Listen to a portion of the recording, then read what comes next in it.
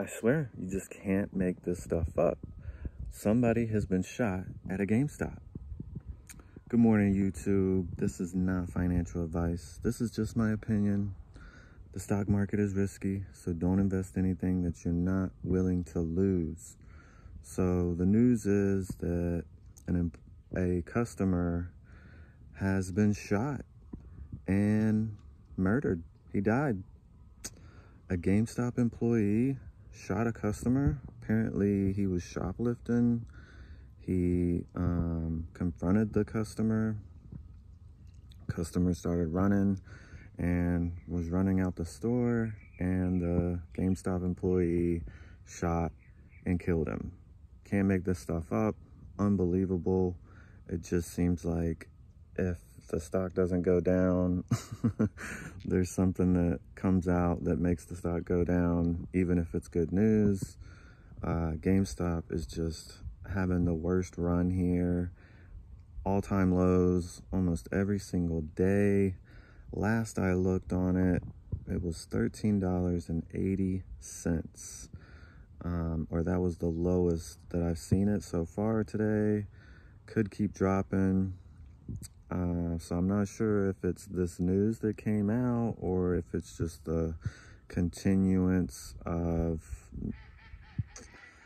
uh, shorting and people not believing in the stock because the volume has been pretty low on it, but you just, you can't get GameStop any cheaper than this. So I don't know how much lower the stock is going to go, but you know, $12 would just be insane. $13 is insane. So, I mean, $14. Here we are.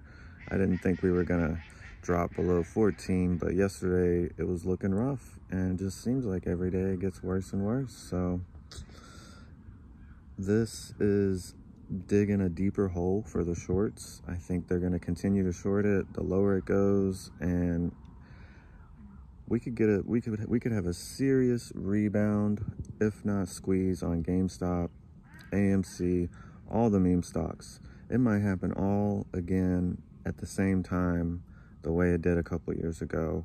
And call me crazy, but I've seen a couple articles that have come out uh, that have said the same exact thing that we could have another meme stock run. So, because it just these these prices are getting more and more ridiculous, and there's less and less companies, right?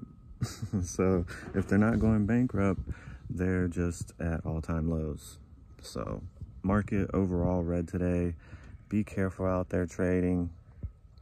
Um, just need some good news for GameStop and should start to rebound here because after a while, it's just going to get to where it's going to be all buyers and there's not going to be any room to short this stock. So, not financial advice, just my opinion. Ryan Cohen's got the got the wheel now, baby. So he's in charge. But um, news like this about uh, a freaking murder and a GameStop is just unreal, and it's just getting comical at this point. Um, I don't I don't think you're gonna see these prices this low for much longer. Ridiculous, but anything can happen. So be careful out there. Like, comment, subscribe, share it. Let me know what you think.